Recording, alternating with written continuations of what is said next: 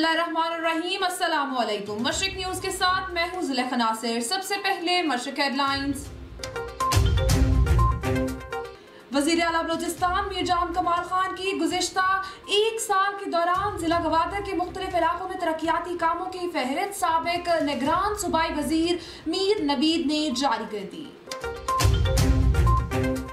وزیر اعلیٰ بلوچستان جام کمال خان نے کہا صوبائی حکومت خواتین کو تمام شعبوں میں شمولیت کے مساوی مواقع فراہم کرنے کے لیے پرعزم ہے۔ گورنر بلوچستان امان اللہ خان یاسین زئی نے کہا ہے کہ انسانی تاریخ گواہ ہے کہ دنیا میں کوئی انقلابی اجتماعی تحریک اس وقت تک کامیابی سے ہمکنار نہیں ہو سکتی جب تک کہ خواتین مردوں کے شانہ بشانہ جدوجہد میں شامل نہ ہوں۔ پنجگور میں لیویز اور پولیس نے ڈپٹی کمشنر شفقت انور شاہوانی کی سربراہی میں مشترکہ کاروائی کرتے ہوئے پولیس ایریا میں پانچ اشتہاری گرفتار کر لیے۔ اوتھل زیرو پوائنٹ کے قریب قومی شارہ پر پولیس آفیسر نظر زہری کی گاڑی کو حادثہ۔ گزشتہ شب چمن میں لیویز ہیڈ کوارٹر کے قریب دھماکہ، تین اہلکاروں سمیت پانچ افراد زخمی ہو گئے۔ ہیڈ لائنز آپ نے جانی اب خبریں تفصیل کے ساتھ۔ وزیر اعلیٰ بلوچستان میر جام کمال خان کی گزشتہ ایک سال کے دوران ضلع گوادر کے مختلف علاقوں میں ترقیاتی کاموں کی فہرست سابق نگران صوبائی وزیر میر نبید نے جاری کر دی۔ سابق نگران صوبائی وزیر میر نبید نے کہا کہ انشاءاللہ آنے والے بجٹ میں ہماری کوشش ضلع بھر میں تعلیم پر فوکس رہے گا۔ گوادر سٹی کے لیے یونیورسٹی کا قیام، شہری اور دہی مختلف علاقوں میں پرائمری، مڈل اور ہائی سکول کا قیام شامل ہے۔ وزیر اعلیٰ بلوچستان جام کمال خان نے کہا ہے کہ صوبائی حکومت خواتین کو تمام شعبوں میں شمولیت کے مساوی مواقع فراہم کرنے کے لیے پرعزم ہے۔ پالیسیوں میں اصلاحات کے ذریعے خواتین کی ترقی کو یقینی بناتے ہوئے اس پر عمل پیرا ہونے کے باقاعدہ سفر کا آغاز کر دیا گیا ہے۔ خواتین کی ترقیاتی عمل میں شرکت یقینی بنا کر پائیدار ترقی کے اہداف کا حصول ممکن ہو سکے گا۔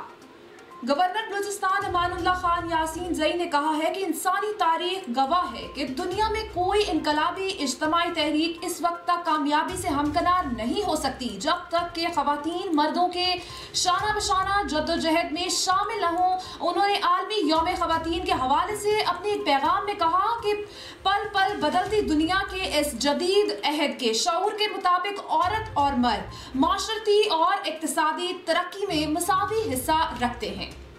پنجگور میں لیویز اور پولیس نے ڈپٹی کمشنر شفقت انور شاہوانی کی سربراہی میں مشترکہ کاروائی کرتے ہوئے پولیس ایریا میں پانچ اشتہاری گرفتار کر لیے، جن سے اسلحہ اور چوری شدہ موٹر سائیکل کے ساتھ ساتھ چوری میں استعمال شدہ ستائیس سو گاڑیاں برآمد ہو گئی یہاں آمدن اطاعت کے مطابق کل سے لیویز اور پولیس کی مشترکہ کاروائی سے پنجگور کے مختلف علاقوں میں، جن میں تسپ، گلف دازی غریب آباد اور مختلف علاقوں سے اشتہاری گرفتار ہو گئے، جن سے اسلحہ سمیت اور دیگر چیزیں برآمد ہو گئیں۔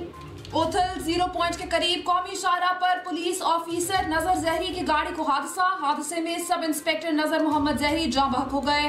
حادثہ قومی شارہ پر گاڑی کے سامنے آنے والے اون سے ٹکرانے کے بعد پک اپ سے تصادم کے سبب رونما ہوا۔ جاں بحق پولیس آفیسر نظر محمد ولد محمد یوسف کا تعلق بلوچستان کے ضلع کلات کے علاقے دشت گران سے ہے، جن کی ناش ابتدائی طور پر ڈسٹرکٹ ہیڈ کوارٹر ہسپتال اوتھل منتقل کر دی گئی۔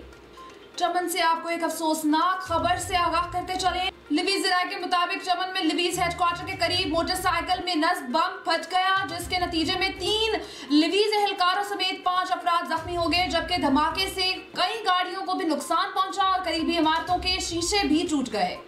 نیوز اسٹوڈیو سے فی الوقت اتنا ہی۔ مزید خبروں اور اپڈیٹس کے لیے وزٹ کیجیے ہماری website Mashriq H D dot T V اور دیکھتے رہیے مشرق نیوز۔